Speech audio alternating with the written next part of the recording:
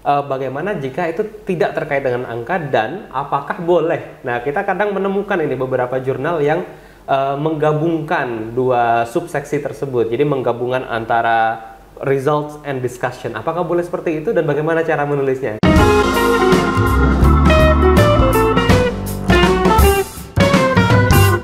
Bismillahirrahmanirrahim Assalamualaikum warahmatullahi wabarakatuh Sobat Omikatos Academy di mana pun Anda berada Kali ini kita berjumpa kembali masih di uh, series di dalam pembahasan bagaimana cara menuliskan artikel ilmiah ya pada jurnal ilmiah Baik, nah dalam uh, series pembahasan artikel ilmiah ini kita mengikuti uh, pattern, kita mengikuti pola imrat, di mana salah satunya ada di situ adalah result. Result ini adalah hasil.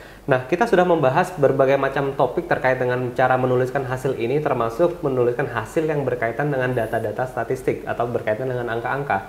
Pertanyaan berikutnya adalah uh, bagaimana jika itu tidak terkait dengan angka dan apakah boleh. Nah, kita kadang menemukan ini beberapa jurnal yang uh, menggabungkan dua subseksi tersebut. Jadi menggabungkan antara results and discussion. Apakah boleh seperti itu dan bagaimana cara menulisnya? Kita akan bertanya langsung dengan narasumber kita. Assalamualaikum, Prof. Waalaikumsalam warahmatullahi wabarakatuh. Gimana kabarnya, Mas Ali? Alhamdulillah sehat, Prof. Sehat, nah, alhamdulillah. Nah, terkait dengan pembahasan ini, Prof, bagaimana uh, tanggapan Prof Ali? Terkait dengan menulis bagian result. Betul. Ya. Terkait uh, dengan paparan bagaimana menuangkan uh, hasil analisis data mm -hmm. di bagian result sebagai bagian dari struktur IMRAT, Introduction, Method, Result, and Discussion, bagian result ini. Uh, saya ingin uh, mengingatkan bahwa pada dasarnya itu ada yang disebut dengan gaya selingkung, ada sesuatu yang lazim untuk beberapa jurnal, tapi juga bisa beda dengan jurnal yang lain. Dalam kaitannya dengan menulis bagian result, ada juga yang uh, secara terpisah mm -hmm. khusus menuangkan hasil analisis data yang merupakan upaya untuk menjawab pertanyaan penelitian. Mungkin saya potong dulu Prof, tadi ada menyebutkan kata gaya selingkung. Mungkin pemirsa sebagian belum tahu apa itu Prof. Yeah. Gaya selingkuh itu mungkin se sekarang itu lebih lazim dengan kata template ya. Nah, template. Template, ya. template itu mm -hmm. kelaziman dari paparan penulisan artikel yang akan dimuat di jurnal itu seperti apa. Mm -hmm. Jadi misalnya katakanlah salah satu salah satu yang mungkin pernah kita bahas juga, misalnya bagian awal itu bagian pendahuluan bagian pendahuluan itu apakah ada judul pendahuluan atau tidak? Hmm. ya. Terus kemudian bagaimana memaparkan pertanyaan penelitian? Apakah itu pertanyaan penelitian itu ada di bagian akhir eh, pendahuluan atau di bagian awal dari metode? Hmm. ya ini termasuk uh, gaya selingkung. Selingkung itu lingkungan keilmuan yang menjadi apa cakupan dari jurnal yang menerbitkan artikel-artikelnya. Mm-hmm. Jadi ya template atau atau gaya penulisan yang lazim diikuti oleh jurnal yang terkait. Mm-hmm. Nah, sebelum itu saya uh, ingin mengingatkan bahwa pada dasarnya karena result itu tempat memaparkan hasil analisis data, kata kata hasil analisis data maka itu juga juga tergantung apakah datanya dalam bentuk angka-angka atau bukan dalam bentuk angka-angka. Mm -hmm. Tapi sebelum tadi menjawab pertanyaan Mas Salim, saya juga ingin mengingatkan bahwa dalam template gaya selingkung atau kelaziman yang dipakai, diadopsi oleh jurnal itu ada juga uh, paparan hasil itu terpisah dengan paparan pembahasan, pembahasan. Ya, tapi bisa juga dijadikan satu terintegrasi. Judulnya tentu menjadi kombinasi dari dua-duanya result and discussion, mm-hmm. hasil dan pembahasan. Nah, kalau kalau boleh saya katakan bahwa pada dasarnya kalau uh, analisis datanya itu menggunakan statistik, hasil analisis data menggunakan statistik dalam bentuk yang bersih betul-betul hasil hmm. itu dengan mudahnya dipisahkan. Jadi lepas dari gaya selingkung itu argumentasi memisahkan antara hasil dengan pembahasan itu karena menggunakan statistik untuk menganalisis datanya itu secara tersendiri, terpisah, bersih, isinya hanya hasil analisis data menggunakan statistik, itu bisa.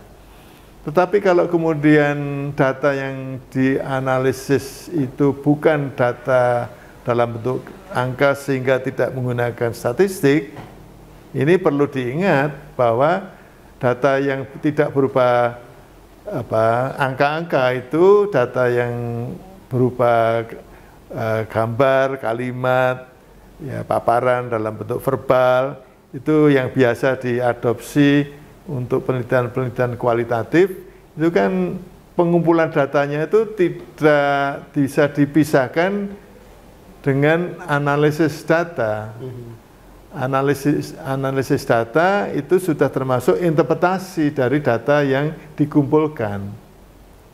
Sehingga sulit untuk dipisahkan antara dat, hasil analisis data dengan pembahasannya. Ya, oleh karena itu mungkin saja dari segi template, dari segi gaya selingkung tadi, mm -hmm. pada umumnya yang dijadikan satu antara hasil dan pembahasan adalah uh, hasil analisis data yang tidak berupa angka-angka. Karena pemaknaan itu implikasinya apa, data-data yang dikumpulkan, data-data yang kemudian dianalisis, implikasinya apa, itu sudah termasuk pemaknaan. Pemaknaan-pemaknaan, interpretasi-interpretasi, mm -hmm. itu tidak bisa begitu mudah dipisahkan dengan analisis data yang langsung nah, jadi ya beda dengan kalau datanya itu dalam bentuk angka yang kemudian dianalisis menggunakan statistik. Nah, tetapi tidak selalu ter, terkait dengan masalah penelitiannya apa. Jadi betul-betul ini bisa saja merupakan kebijakan dari para pengelola jurnal mau dijadikan terpisah atau dijadikan satu. Tapi tentu saya akan membahas masalah isi dari bagian pembahasan mungkin di lain kesempatan ya. Mm-hmm. Di, uh, barangkali bisa bisa cukup disampaikan bahwa pada dasarnya uh, pembahasan apa pun yang nanti kita bahas itu kalau data yang dikumpulkan itu bukan dalam bentuk angka tapi dalam bentuk verbal misalnya dalam bentuk narasi, maka kemudian itu biasanya langsung segera diinterpretasi. Langsung bisa diberikan implikasi maknanya apa. Langsung bisa di di di acu ya di dibanding-bandingkan dengan acuan-acuan teori atau acuan-acuan hasil-hasil penelitian sebelumnya untuk segera bisa ditangkap berarti maknanya apa dari uh, hasil analisis data itu sehingga uh, dijadikan satu bagian hasil dan pembahas, pembahasan. Bagaimana dengan jika misalkan ada beberapa kasus, Prof, dalam penulisan artikel itu ada yang uh, misalkan menampilkan terlebih dahulu tangkapan-tangkapan uh, dari uh, hasil interview. Jadi kutipan-kutipan interview kemudian dideskripsikan, baru kemudian melakukan pembahasan. Apakah bisa seperti itu? Dipisah begitu? Ya, kalau itu kan sebetulnya tidak dipisah ya, tapi hmm. artinya tampilan eh, tampilan apa katakanlah secara otentik hmm. apa yang diperoleh dari hasil wawancara hmm. itu kemudian diberi interpretasi.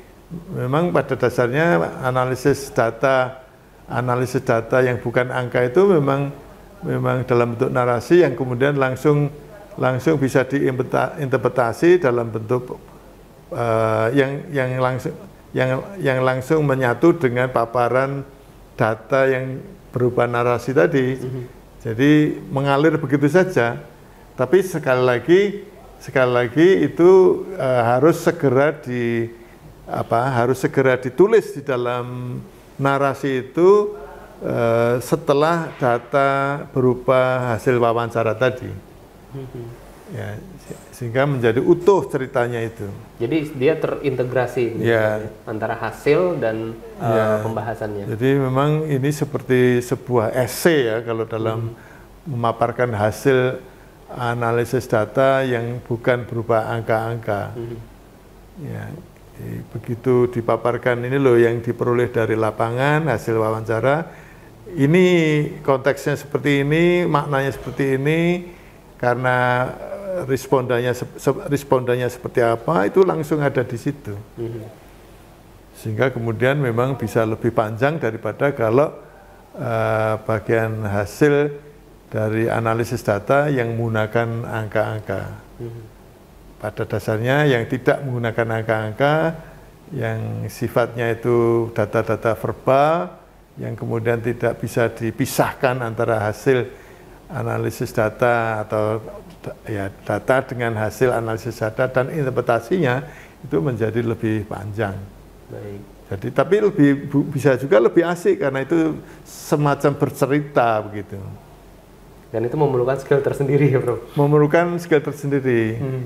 Uh, juga perlu diingat bahwa apa namanya mendeskripsikan hasil analisis, mendeskripsikan data yang diperoleh dari lapangan mm -hmm. itu biasa disebut dengan catatan lapangan kan field field, field note. Field note itu bisa juga dipilah antara apa descriptive field note dengan reflective field note. Ini dalam bahasa Indonesia apa ya? Descriptive field note itu catatan lapangan apa adanya. Hmm. Sedangkan yang reflective field note itu catatan lapangan yang sudah dibumbui interpretasi-interpretasi karena ada konteks-konteks yang harus dijadikan dasar untuk memaknai. Ya, misalnya sedang ketawa, ketawa sendirian maknanya apa? Mm-hmm. Ya, padahal sebetulnya tidak ketawa sendirian atau ini harus di, di anu, Jadi secara deskriptif kalau ketawa sendirian tidak ada alasannya, maka wah ini ada sesuatu ini. Baik, tapi kalau kemudian ketawa sendirian, tapi ternyata itu dia barusan melihat tayangan. Uh. Nah, ini secara utuh harus ditampilkan. Jadi secara deskriptif sebenarnya kadang uh, apa yang kita lihat, tapi sebenarnya apa yang kita lihat itu perlu pemaknaan juga. Perlu pemaknaan. Jadi ini yang disebut dengan reflektif tadi ya. Itu yang biasa disebut dengan reflective field notes. Hmm. Jadi kalau data deskriptif tadi seperti data mentah, hmm. Field notes ini sudah data yang dianalisis, hmm. tapi masih juga bisa diinterpretasi yang kemudian masuk wilayah pembahasan. Hmm. Jadi jadi bisa juga itu ada data mentah, data mentah data mentahnya itu se seperti yang tadi saya sebut descriptive field note kalau itu berupa catatan lapangan, tapi bisa juga sudah reflective field notes, tapi masih bisa diterjemahkan lagi ya, diterjemahkan lagi, diinterpretasi lagi. Itu adalah bagian dari pembahasan, pemaknaan yang kemudian itu yang harus dilakukan pada waktu menulis bagian pembahasan yang akan kita bicarakan di lain kesempatan. Baik, baik. Terima kasih banyak Prof. Ali ini uh, menarik sekali insight yang kita dapat pada hari ini. Memang ternyata ada perbedaan ya antara menuliskan hasil itu ketika hasil berkaitan dengan angka-angka atau berkaitan dengan statistik dan ketika hasil itu tidak berkaitan dengan angka-angka atau data verbal gitu Prof. Baik, terima kasih banyak Prof. Ali Sokah atas uh, informasinya pada hari ini. Kita akan berjumpa lagi mungkin di episode-episode yang akan datang dan tentunya bersama dengan uh, viewers kita dari Om Katos Academy. Insya Allah kita akan berjumpa kembali. Saya akhiri. Assalamualaikum warahmatullahi wabarakatuh. Waalaikumsalam warahmatullahi wabarakatuh. Terima kasih Mas Salim. Terima kasih Prof. Ali.